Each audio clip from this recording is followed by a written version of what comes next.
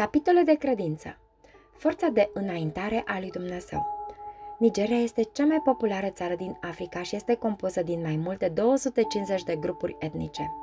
Adventiștii reprezintă un pic mai mult de 0,001% din populație. Avere lucrează să răspândească mesajul Evangheliei oamenilor din această țară nevoiașă.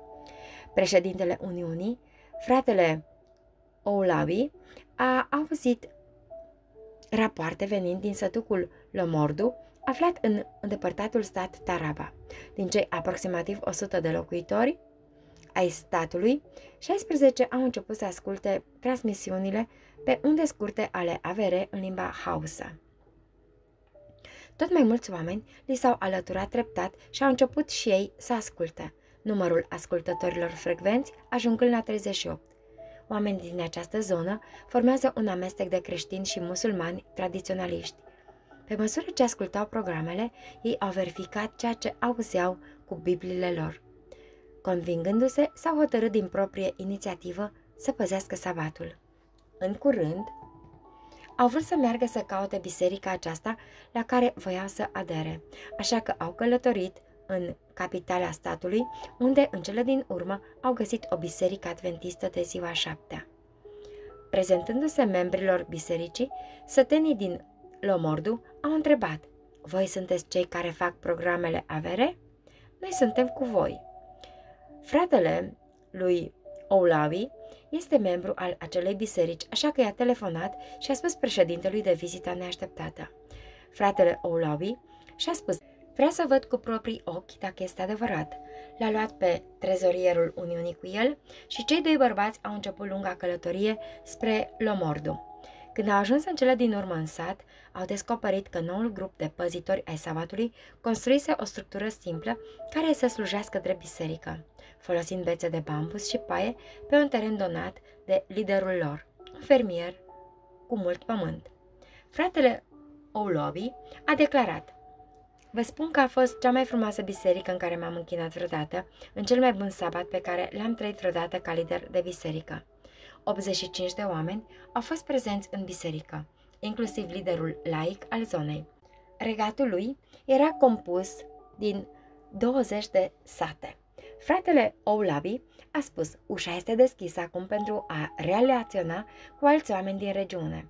Vrem să ajungem și la celelalte 19 sate. Noi trebuie să lucrăm ca biserică și ca lideri ai acesteia acolo unde Dumnezeu lucrează. Liderii bisericii au căzut de acord să sponsorizeze salariul unui misionar care și-a petrecut următorul an lucrând cu oamenii din Lomordu și din împrejurimi. De asemenea, au contribuit cu niște bani la construirea unei biserici din cărămizi de beton. Mai mult, Uniunea a dedicat 30% din bugetul anual pentru evangelizare, pentru răspândirea Evangheliei în regiunea aceasta. Apreciem foarte mult lucrarea pe care o face Avere în Nigeria, spune fratele Oulabi. Transmisiunile radiofonice pe unde FM nu pot ajunge atât de departe, dar cu transmisiunile radiofonice pe unde scurte, Evanghelia poate fi auzită la mare distanță. Anul trecut, am primit o scrisoare cu fonduri de la un donator anonim pentru achiziționarea de radiouri de la un producător local. Dacă putem pune la dispoziția oamenilor mai multe radiouri, vom fi uimiți de ce anume se va întâmpla în nordul Nigeriei. Îi mulțumim Dumnezeului Atotputernic pentru lucrarea sa și mulțumim Avere pentru munca depusă pe teren. Directorul studioului Avere din Nigeria spune nu o să vă vină să credeți ce răspuns primim. Studioul primește apeluri telefonice de la ascultători la fiecare 5 minute, precum și numeroase mesaje scrise. De fapt, un raport arată că programele AVR au a doua rată de reacție din statul Taraba. Acest lucru este miraculos, ținând cont că nordul Nigeriei este un teritoriu dominat de musulmani. Fratele Oulabi spune că acum înțelege că avere este o forță de înaintare, iar lucrătorii bisericii doar merg să culeagă sufletele. Fiți binecuvântați! Să fiți buni misionari pentru Domnul.